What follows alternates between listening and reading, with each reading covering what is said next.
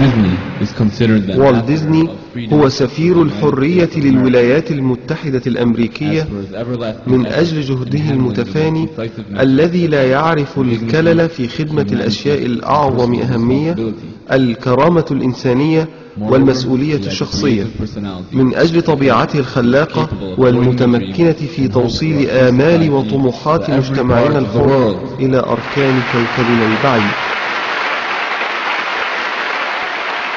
هذا هو نص الخطاب الذي قرأه الرئيس الأمريكي آيزنهاور وهو يقلد والت ديزني ميدالية جورج واشنطن عام 1963 وقد أعلن والت ديزني منذ قديم أنه يقدم التسلية ولا شيء أكثر من ذلك. وفي نفس الوقت وصفه أحد مراقب التعليم أن والت ديزني المعلم الأعظم في هذا القرن. وفي نعي لوس أنجلوس تايمز لوالت ديزني أوردت هذا الوصف المعبر. لم تكن شخصيته تعرف السياسة لكنها كسبت تعاطف الشباب أيا كان انتمائهم السياسي أو الأيديولوجي. وتمر الأيام والسنوات. فبعيدا عن ترويج الشركة للحياة الشاذة والدفاع عن الشاذين جنسيا حين أصبحت تخصص يوما سنويا في ملاهيها يعرف باسم يوم الجسد تولى اليهودي مايكل إينز رئاسة والت ديزني عام 1984 واستخدم معه مجموعة من اليهود أقحموا الشركة في عدة مجالات أثارت الضجة من حولها.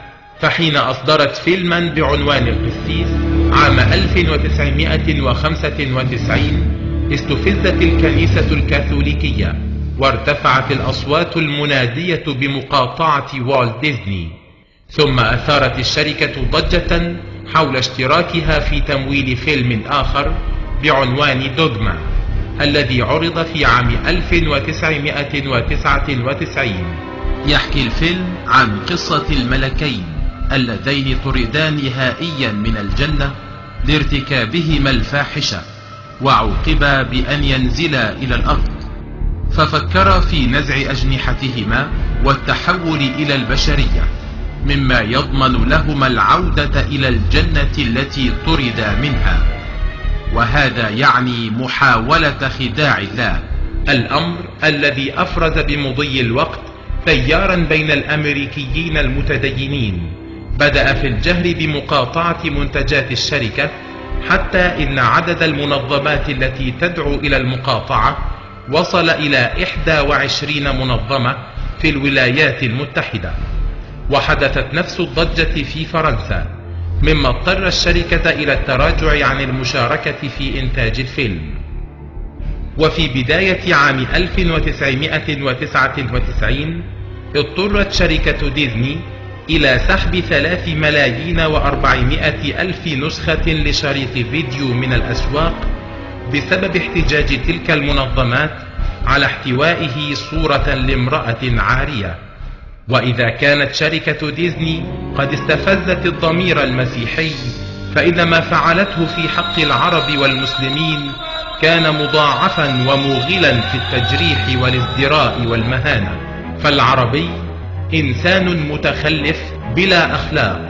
أما المسلم فهو شرير وجبان وإرهابي وهذه الصفات توزعت على أفلام ومسلسلات عدة منها علاء الدين كاظم في الجيش الآن عملية الكوندور عودة جعفر وغيرها. وفي الثلاثين من سبتمبر عام 1999 افتتح في ملاهي والت ديزني معرض قرية الألفية. تحت عنوان عالم بلا حدود. وخصصت جناحا لإسرائيل يحمل عنوان القدس عاصمة إسرائيل. وقد ألغي في هذا المعرض كل ما هو فلسطيني. حتى ظهرت نجمة داود مكان قبة الصخرة. وعرضت الآثار الفلسطينية في القدس على أنها آثار إسرائيلية. وكل ما كان في المعرض من مأكولات ومشغولات فلسطينية بيعت للأمريكيين باعتبارها إسرائيلية وغير ذلك الكثير.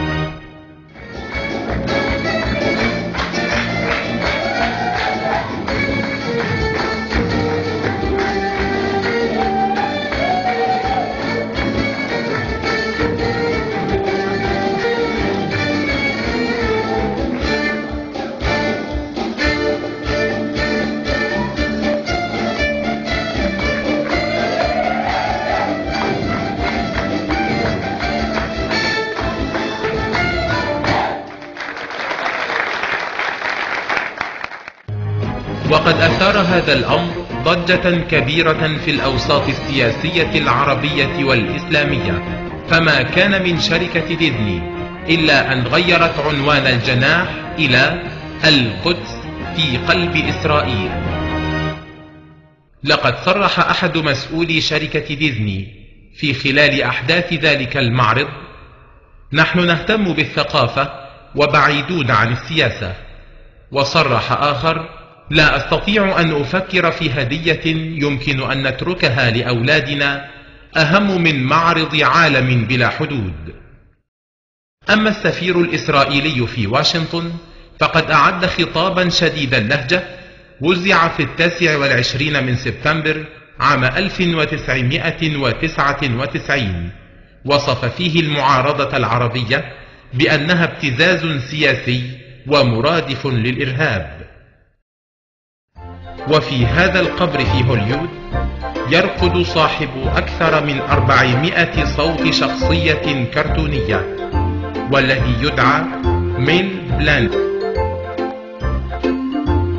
والت ديزني والتسلية البريئة.